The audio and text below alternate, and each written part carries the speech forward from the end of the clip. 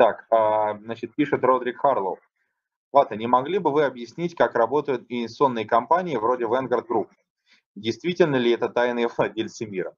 Нет, Vanguard Group работает очень просто. А, просто очень, громко чатаешь, не могу. Рос, очень-очень громко. Да, да. А вот, а, значит, Vanguard Group работает очень просто.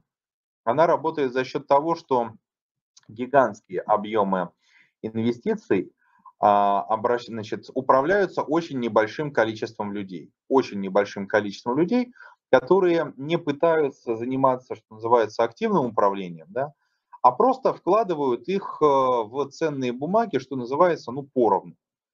Ну, скажем, есть, например, там э, индекс S&P 500. 500 крупнейших компаний США. Есть другие индексы, которые там учитывают 5000 крупнейших компаний США и так дальше.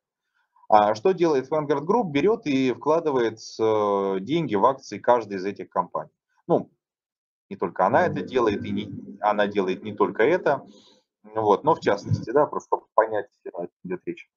То есть более-менее поровну, в зависимости от размера, конечно, каждой компании, в зависимости от ее капитализации, вкладывает просто деньги в акции всех этих компаний.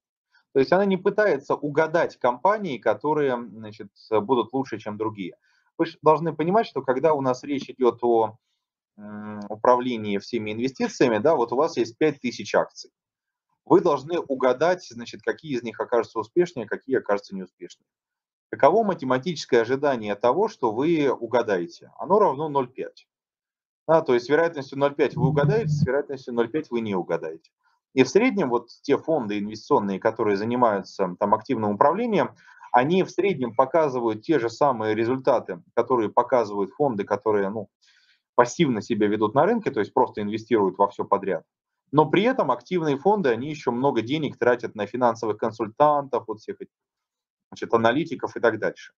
И в результате, значит, они фактически тратят деньги в никуда они теряют деньги клиентов, по сути дела. Поэтому вот такие компании, как Vanguard, Vanguard Group или Pimco, да, они просто-напросто работают на том, что аккумулируют очень много денег, которыми управляет очень немного людей, а просто инвестирующих эти деньги, ну, поровну, грубо, грубо говоря, во все подряд. И в целом получается очень-очень успешно. И это, ну, я так по-простому пытался объяснить, не знаю, может быть, получилось чересчур просто, может быть, было. Ну ладно, пойдем дальше.